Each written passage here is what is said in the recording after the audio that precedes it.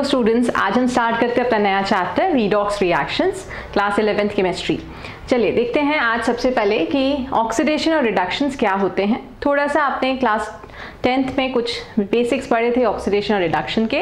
अब हम उसमें डिटेल पढ़ते हैं आज ऑक्सीडेशन और रिडक्शन क्या होता है। तो we start first with the classical meaning of oxidation and reduction so first we start with oxidation oxidation को हम चार तरीके से समझ सकते हैं।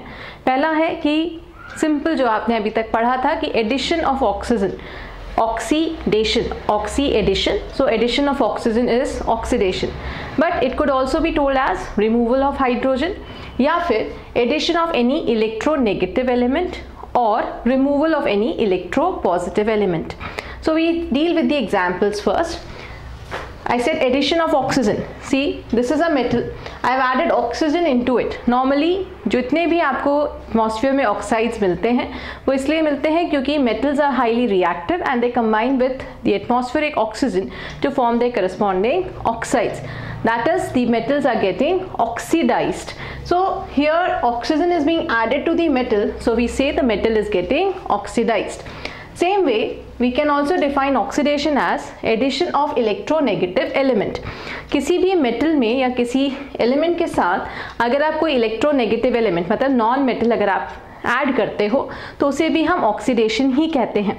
जैसे मैग्नीशियम के साथ मैंने क्लोरीन को ऐड कराया तो it forms magnesium chloride chlorine is the electronegative element we say halogens are highly electronegative so addition of halogens or addition of any other electronegative element to the metals is again oxidation of those metals so here again i can say magnesium में क्योंकि chlorine और fluorine दो examples हमने किए हैं क्योंकि chlorine और fluorine दोनों ही ऐड हुए हैं तो हम बोलते हैं metals are getting oxidized next removal of an electropositive element अब इलेक्ट्रोपॉजिटिव एलिमेंट्स आर मेटल्स तो मेटल्स का अगर आप रिमूवल कराते हो किसी भी रिएक्शन में तो फिर हम बोलते हैं कि they are getting oxidize for example K I के H2 और O3 के साथ हम रिएक्ट कराते हैं तो potassium gets removed from iodine तो यहाँ पर Ki का क्या हुआ?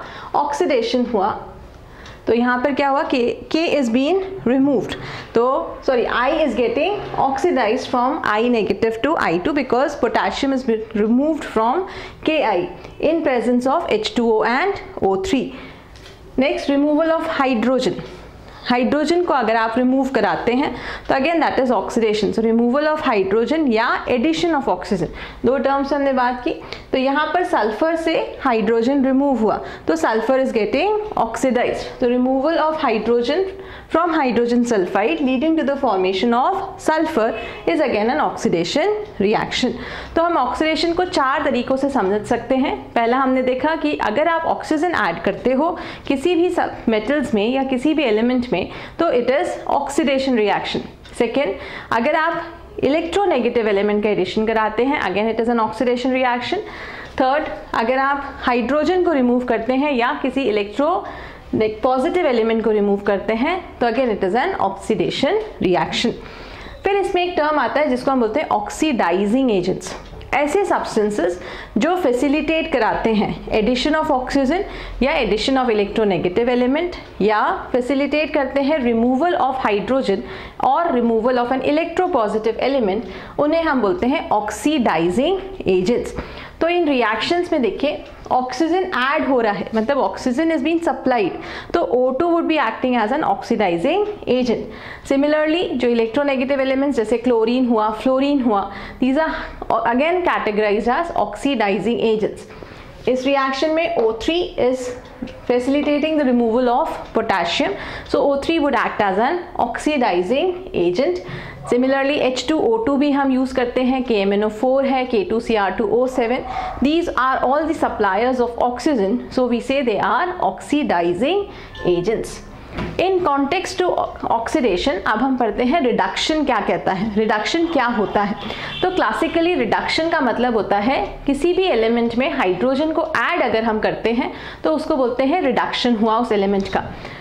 और किन तरीकों से हम इसको पढ़ सकते हैं? हमने ऑक्सीडेशन को चार तरीकों से पढ़ा, वैसे ही हम रिडक्शन को भी चार डिफरेंट वेज में पढ़ सकते हैं। जैसे एडिशन ऑफ़ हाइड्रोजन या एनी इलेक्ट्रोपॉजिटिव एलिमेंट और रिमूवल ऑफ़ ऑक्सीजन और एनी इलेक्ट्रोनेगेटिव एलिमेंट या तो आप हाइड्रोजन ऐड करो या कोई इलेक्ट्रो पॉजिटिव एलिमेंट मतलब मेटल्स का एडिशन या फिर ऑक्सीजन को रिमूव करें, या फिर कोई इलेक्ट्रोनेगेटिव एलिमेंट का रिमूवल अगर हम करा रहे हैं किसी रिएक्शन से तो वो सब रिएक्शंस रिड्यूसिंग रिएक्शंस या reduction reactions कहलाएँगी। For example bromine plus H two S bromine में एच का एडिशन हुआ and it bromine got converted to hydrogen bromide H B R so we see say that this is a reduction reaction H G C L two H G is an electropositive element you are adding again H G to this तो again H G में H G two C L two बना. तो addition of an electropositive element I said is reduction so again this is a reduction reaction copper oxide में hydrogen के साथ react कराया तो copper oxide से oxygen का रिमूवल हुआ। So this is again an oxidation reaction last F E C L three plus S O two plus H two O chlorine का removal हुआ एंड हमने फेरिक क्लोराइड से ferrous chloride form किया। So again this would be categorise as a reduction reaction जैसे oxidising agents थे वैसे ही फिर रिड्यूसिंग एजेंट्स भी होते हैं।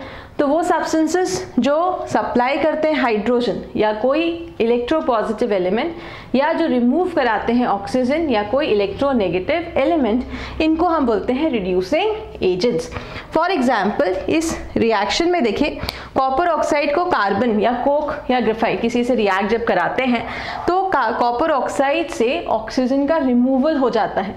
Carbon facilitates removal of oxygen so carbon would be acting as a reducing agent similarly ferric oxide से को जब हम कार्बन मोनोऑक्साइड के साथ ट्रीट कराते हैं तो carbon monoxide facilitates removal of oxygen from ferric oxide leading to the formation of molten iron and carbon dioxide तो कार्बन और कार्बन मोनोऑक्साइड ने क्या किया?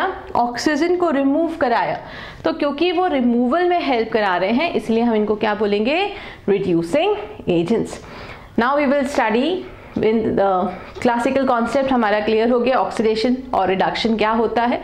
अब हम पढ़ते हैं कि अगर दोनों ही किसी रिएक्शन में हो रहे हैं तो उनको क्या बोला जाएगा?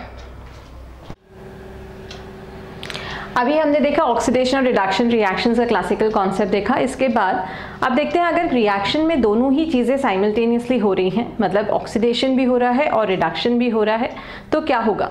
तो अगर कोई सब्सटेंस ऑक्सीडाइज हो रहा है तो दूसरा सब्सटेंस ऑटोमेटिकली क्या होगा? रिड्यूस होगा। तो हम बोलते हैं दोनों ही रिएक्शंस एक दूसरे के क्या होते हैं? कॉम्प्लीमेंट्री होते हैं।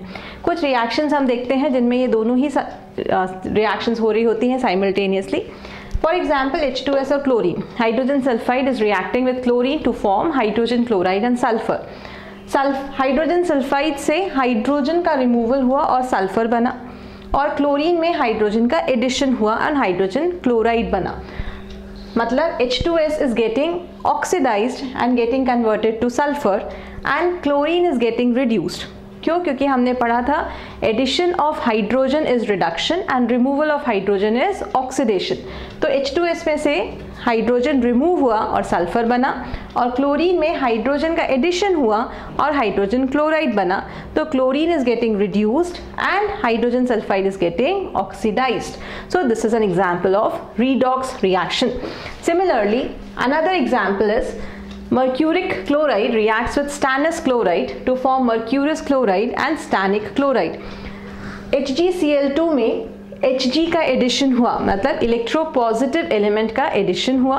And addition of an electropositive element is reduction same way stannic stannous chloride से स्टैनिक क्लोराइड बनाया तो इलेक्ट्रोनेगेटिव एलिमेंट मतलब क्लोरीन यहाँ पर क्या था इलेक्ट्रोनेगेटिव एलिमेंट हमारा? क्लोरीन तो स्टैनस क्लोराइड में क्लोरीन का एडिशन हुआ मतलब ऑक्सीडेशन हुआ।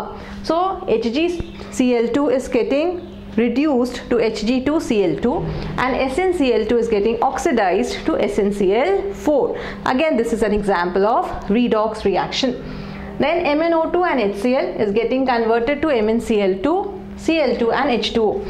MnO2 में MnCl2 का बनना इज रिडक्शन और एट सी एल से Cl2 का बनना इज़ ऑक्सीडेशन बिकॉज़ ये again hydrogen is remove from chlorine so when both is taking place simultaneously that is oxidation or reduction both occur simultaneously we say they are the examples of redox reactions I hope यहाँ तक आपको बिल्कुल clear हो गया होगा कि oxidation क्या होता है रिडक्शन क्या होता है ऑक्सीडाइजिंग एजेंट्स रिड्यूसिंग एजेंट्स का कॉन्सेप्ट एंड रीडॉक्स रिएक्शंस किन को बोलते हैं इन पर बेस्ड आप क्वेश्चन सॉल्व करके देखें by seeing this video you'll be able to solve variety of questions based on this concept so keep learning keep watching thank you so much